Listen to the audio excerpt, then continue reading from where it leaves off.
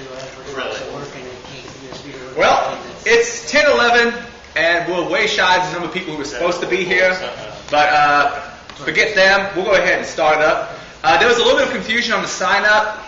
Uh, if need be, you can give me the money, but the original intention was for the charity for people to go out and uh, donate via the PayPal link. If you go to Shook, wait a second. This is, there's nothing embarrassing in my history. Like this is wearing. ShoeCon.org.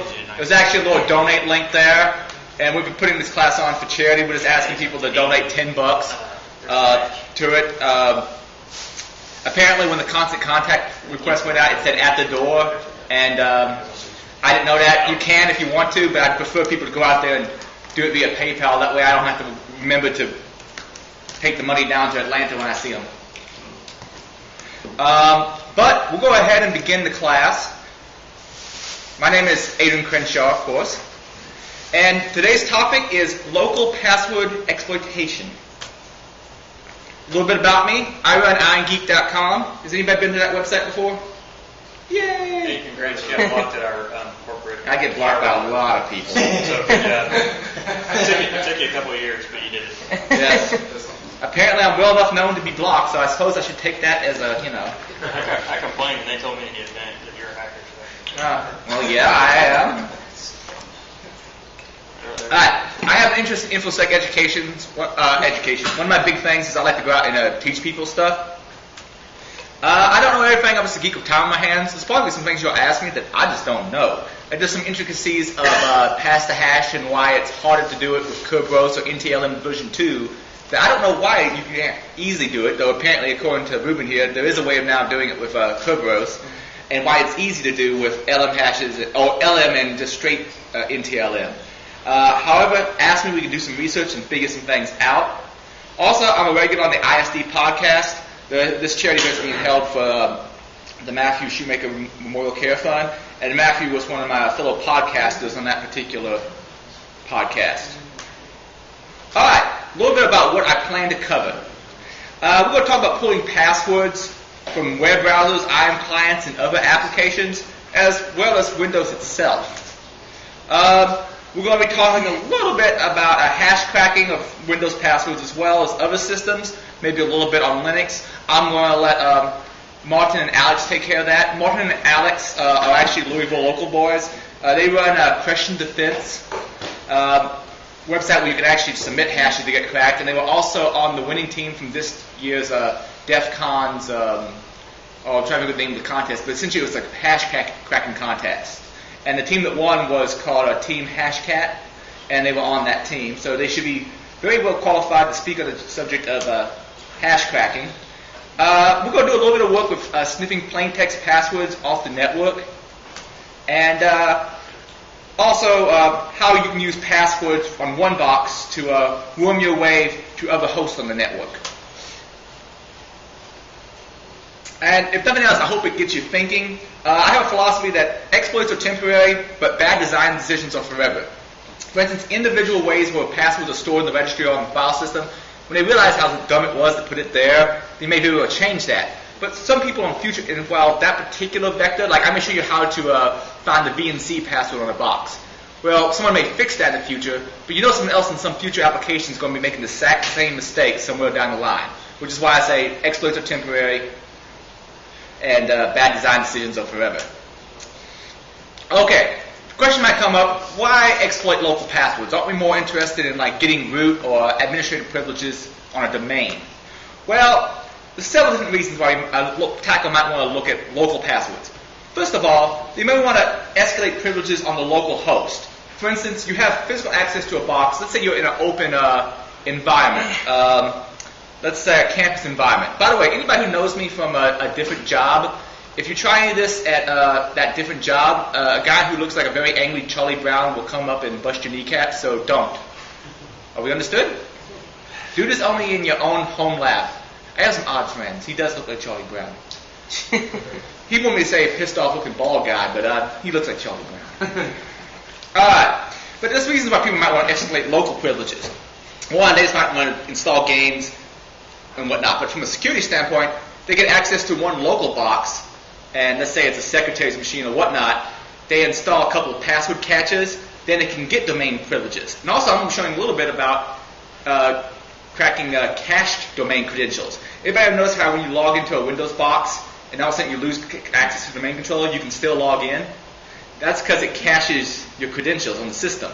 Now, those are a little bit harder to crack than straight LM hashes or NTLM hashes, but it can be done. Uh, at least on XP. I'm having some problems on Windows 7. We'll get to that details later. So those reasons why people want local passwords, because they can help them get network passwords. Also, let's face facts. A lot of people reuse the exact same passwords all over the place. So, if depending on how good the administrators are, the local admin password might be the same thing as the domain password.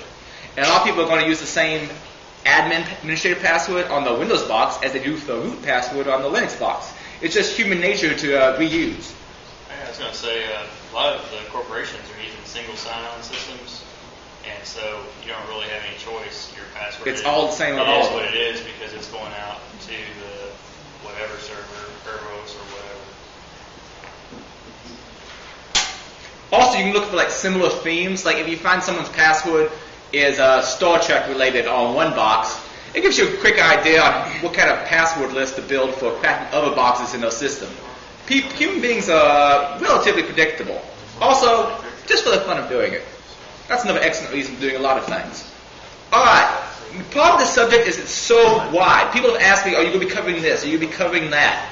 And there's a lot of things to talk about in this particular subject. Uh, password exploitation is such a huge topic there's no way I can cover it in depth, even in the amount of time I have. Not to mention, um, prep time would be tremendous. You could probably do a semester-long course on this.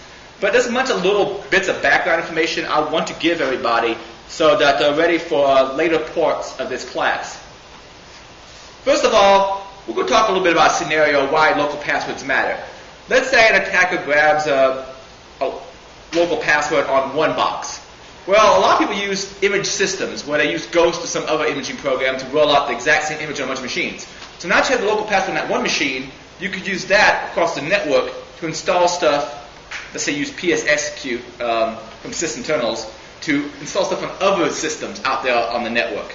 From there, you might be able to install keyloggers, sniffers, and other things, get other domain credentials, and go find even more boxes on the network. It's all about getting that first level and making a niche for yourself and then increasing access. A little bit of methodology of how I'm going to uh, do this class, hopefully. Uh, my target audience are going to be uh, workstation installers, system administrators, and security folks, and uh, general gearheads like myself. Um, we're going to some real technical stuff, but I think most of it should be easy to follow, at least I hope. Um, the presentation format, I'm going to explain the background of a particular exploit or particular problem, show the exploit, and if there's something specific, Going to point the audience towards our countermeasures. Sometimes it's not specific ones. For instance, a lot of password things, the only thing I can say is choose better passwords, do complete hard drive encryption, uh, don't write it down in a place where everybody can find it. A lot of people say don't ever write your passwords down.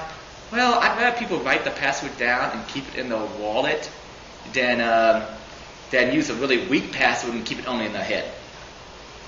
Now, someone said, a friend of mine, we were having a debate about um, whether or not someone who recently got caught in spying, whether or not they were really dumb for keeping their password in their wallet. Well, generally, your password in your wallet's pretty safe for most people until you get nabbed by the FBI. Not that I'm saying anybody here should be worried about nabbed by the FBI, because I don't want to support those kind of people. By the way, I'd like you all to welcome Martin and Alex. These are two of the guys from Team Hashcrack, and also uh, they run Question Defense, and they're going to be doing a section on um, well, more in-depth stuff on hash cracking and showing off the Hashcat cat tool, which I've only played with a little bit so far, but it's freaking fast. I'll say that for it. That's documentation, though. Get with me. I'm going to work on that. And I need to talk to Adam. Adam's the guy who created uh, or is the core developer on Hashcat. Is that correct? Yes. I I got some stuff for him if he needs help uh, on systems. I got some uh, sample files to send him. All right, glossary in thought that you're never going to be able to read. By the way, these slides will be up on my website before long. If anybody wants them, like during a break or something, or after class, just let me know. But I want to put this stuff out there so that people could um, have the background information. All right, first of all, cracking a password. This is essentially what I mean by that is deobfuscating a password's representation. a lot of times a password is not stored as an actual password on a system. It's hashed, and I'll go into that in a bit, um, so that if someone looks at the system, they don't actually get the original password back. They get the hash of it. A brute force attack is essentially choosing uh, all possible characters for a combination, uh, all possible characters uh, that a password have. Like if you know someone's passwords are eight characters long, all alphanumerical, you could increment through every single possible combination. That would be brute force. And um, if you get to a certain length, that becomes basically impossible. Uh, you know, each time you add an extra character, let's say they're just typing in all uh, alphabetical uh, lowercase, you basically increase the problem set by 26 for each character you add, 26 times the previous complexity. You add that out a little bit, you get to a passphrase, it gets pretty much impossible to do brute force attack. Dictionary attacks, however, a little bit easier because you can predict what a person might use. Uh, but for people who choose really simple passwords, uh, brute force attacks are an option. And for some really weak hashing algorithms like LM hashes, that's also a possibility. I'll, we'll cover that much later on as well. Uh, dictionary attack is basically throwing a word list at something, uh, just to see if anybody chooses any common things. Um, hybrid attack would be a combination of brute force and dictionary attacks where you take stuff and mangle it. Like uh, maybe uh, take a dictionary and then replace all the A's with at symbols. When you tr- try those as well. Uh, as far as mangling um, word lists and so forth, the guys in question defense are going to cover that in much more depth than I intend to. Uh, hashing is essentially applying a mathematical uh, formula to a piece of text to get a shorter number or string. And I'm going to give some examples of that. Uh, a few common ones would be like MD4, MD5, SHA-1, SHA-2, and so forth. Uh, one-way hash is simply essentially something that when you make the hash of it, it's not easy to reverse. Uh, it's something that's one way, I suppose like normal encryption, where the idea is eventually to get a string back of what the plain text was. Plain text, of course, is the unobfuscated or unencrypted form of a string, the opposite of ciphertext. Now, password hash, I've already covered a hash with. It's basically how you store it. Reversible encryption is the opposite of a hash of, of, of a, you know, of a, of a one-way hash. You can basically reverse it. For instance, ROC13. Is anybody familiar with uh, ROC13? Uh, ROC13 is essentially um, you increment everything by all characters in the set by 13, and then to unencrypt it, you rotate by over 13 again, and you get back to the original plain text. By the way, this entire presentation is uh, encrypted ROC26, or double XOR if you prefer. Joke for the crypto nerds. Um, uh, and finally, salt is an extra little seed for hashing that adds complexity and makes it harder to do what's known as pre-computation attacks, which we will be covering much later on. A few examples of uh, hashes. Now, these, these are generated using um, Kane. When you install and run Kane, you actually see you can type in any old uh, word and it will show you what the uh, hash representation for it would be.